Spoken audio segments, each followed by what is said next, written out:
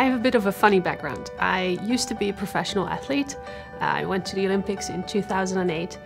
And the reason I'm telling you that is that I actually see a lot of commonalities between my days as an athlete and my work here at C3. Um, the teamwork we do here on a day-to-day -day basis, the dedication, the focus, and the professionalism is um, is unique, and and I love that.